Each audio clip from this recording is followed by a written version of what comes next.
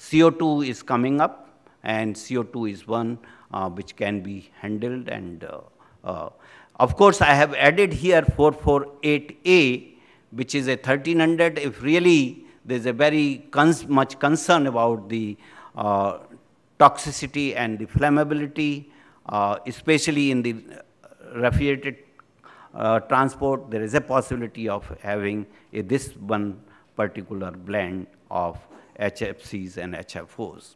Food processing, again ammonia is the best refrigerant here. Supermarkets, uh, so there's a ammonia, a hybrid of uh, the cascade of ammonia and carbon dioxide, and even actually uh, uh with the ammonia and the CO2 as a transfer fluid. I'll show you a few slides in that. And then, of course, you can go even the CO2 uh, Uh, and also the transfer fluid as CO2. So that is actually, there are a number of combinations available, but somehow supermarket is not our major concern currently for the phase down of HFCs. The display cabinets, there's a possibility of carbon dioxide, ammonia, CO2 in these. But again, in the congested areas, I was trying like in Jordan, uh, I was there and I was making this uh, HPMP stage 2 and there was not acceptance of the any flammable and CO2 also then uh, both for the supermarkets and display cabinet because they were very congested, very in a uh, residential area, habitat area and shops were very small and then so there was no possibility of using the flammables in that direction. So such things may come. Uh, Standalone units, domestic, uh, this is a very well known isobutane is already about 60% of the manufacturing all over the world of domestic refrigerators and many other uh, the standalone units uh, cabinets is with isobutane. So that can be, and if it is a higher capacity, we can go to propane. So uh, overall, I would say in case of the cold chain or the refrigeration, there is a uh, some options, are, I mean, good options are available and which can be uh, taken. This shows actually long back, uh, you know, uh, in Europe, uh, this uh, ammonia plant for the supermarkets. Of course, it could not go, not many plants have been commissioned of this nature, but this is in one attempt because in this case ammonia was coming within the space and that's how you know little discouragement from that point of view.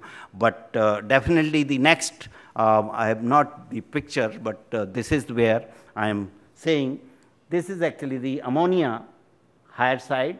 And then of course this with a transfer fluid it cools the co2 and it goes in the space. So like earlier one before that which was a photograph but the ammonia was directly going to the uh, the, the, the cabinets and you know display cabinets as and the within the supermarket area where the you know customer or the users are around. So that is the but here actually you can this is the ammonia circuit and after this it cools the co2 and CO2 goes here and which can go to the display cabinets or anywhere. I mean, different pressures, different temperatures, you can design multi uh, evaporator systems you can also have. Uh, this is another, you know, the cascade one. Here there is a, uh, again ammonia circuit and lower side is the uh, two temperatures uh, areas. This is LT and this is um, uh, the medium temperature. So medium temperature here and the low temperature. So you can have the cold again uh, the two stage that means two separate you know uh, cycles or the systems and at the condenser uh, evaporator of the higher uh, cascade and the condenser of the lower cascade becomes the same uh, or a, a mm, co connecting point. So here actually the basically this here uh, the CO2 comes in and this is a cooled and it comes here and then it goes to the systems. So this is actually the operator. So this is working as condenser for the CO2 and evaporator for the, or the cooling coil sort of, you know, for the ammonia. So that's where it works. And you can have a number of this type. You just it is the two. You can also have a number if there, there are different requirements in the space. Uh, thank you very much for giving me this opportunity, and uh, really I enjoy such presentations. Thanks a lot. Thank you very much. Thank, thank you, Professor Agarwal, for explaining the trade-offs between energy efficiency, cooling capacity, pressure, flammability, and everything else, and also how this applies in, in the various sectors. So now, having heard all about the technical options, we're going to hear a little bit more about the use of natural refrigerants in the RAC and cold chain sectors in India. Professor Maiya, please.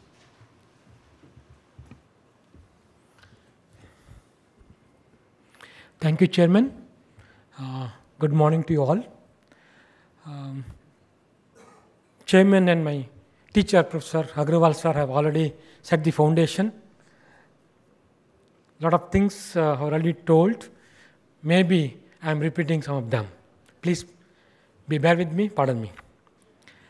I am talking about today about what are the options for natural refrigerants in uh, refrigeration air conditioning industry in general and cold stores, cold storage sector in particular. You must be aware of this, yes, global warming drives us now for searching new refrigerants and opportunity for us to go back to natural refrigerants.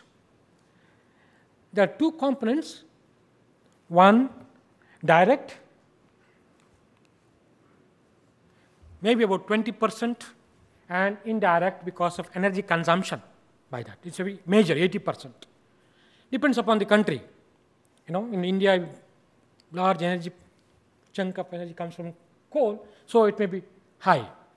In other countries, it may be low, but it's a major, major chunk. So you should be concerned with what is the efficiency of the system. What is problem now?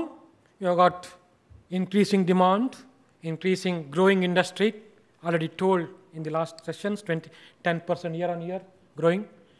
If penetration is still low, big country, everybody wants to enter India as a, as a market, you know. So the demand is growing and problems, CFCs, HCFCs, HFCs now. Then we are talking about HFOs. After 10 years, it will add it there. We have got now Montreal Protocol and Kyoto Protocol. Montreal Protocol is already accomplished by and large. Because it is succeeded, it is extended. Whereas Kyoto Protocol not doing much work, so it's there. No more work for it, much at least. Now it is, you know, 1989 and it's 19. 97. So Montreal Protocol is extended Kigali uh, agreement. Then you already know that CFC and HFCs are targeted already over. CFCs in India is uh, over, and HFCs are placed down, phase down, and we are signatory for COP21 and uh, the Kigali agreement.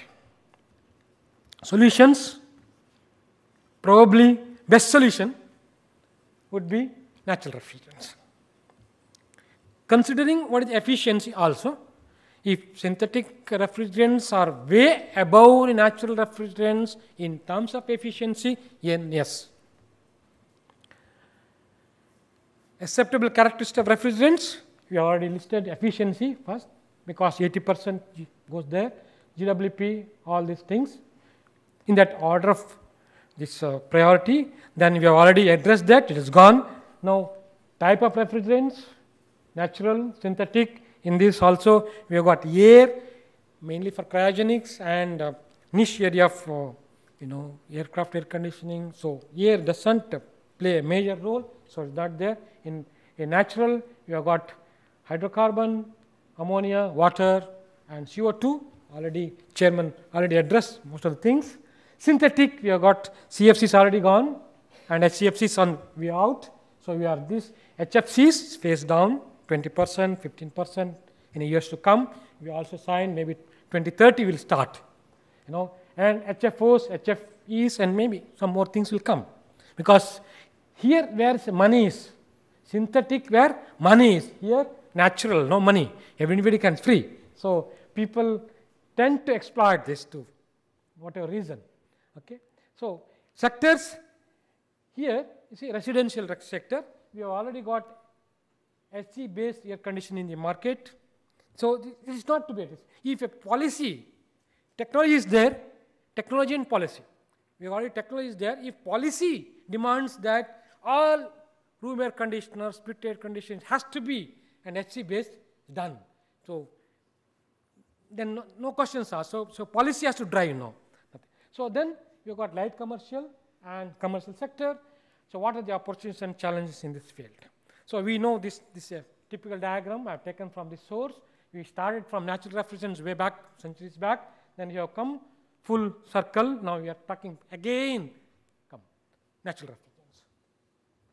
So we have already this. India, we have got ratified COP21 in second Gandhi Jayanti day last year, and we already signed Kigali agreement. So we have to, there is no other, no looking back. We have to go forward only. Uh, this is the typical diagram when the refrigerants came and when the lifetime and when they will go. So now all the synthetic refrigerants, they last, not last long. No, they have to, by somehow that they'll, because they past history. If you extend that history, things, extension, then all synthetic separation has to be withdrawn one day or the other. So now we have introduced this and you don't know when it, it just started, already there, you know, R1, 2, 3, 4, a YF, R1, 2, 3, ZD, ZD is already Kirloskar brought already the system into the market, already there. And natural refrigerants, all things, CO2, water, all these things will be continuing. Now, comparing we have got synthetic and natural refrigerants.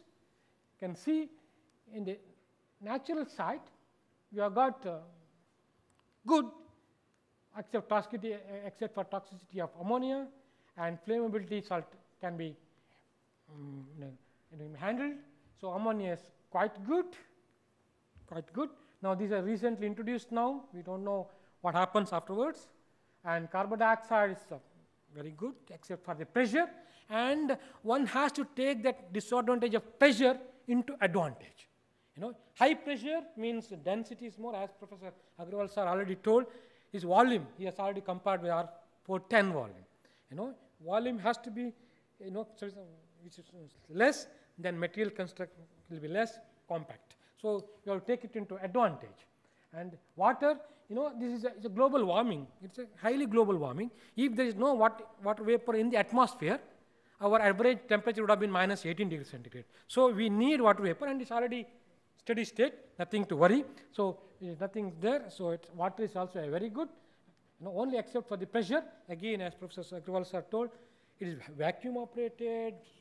Volume becomes very large. Material cost will be more, and this is a disadvantage.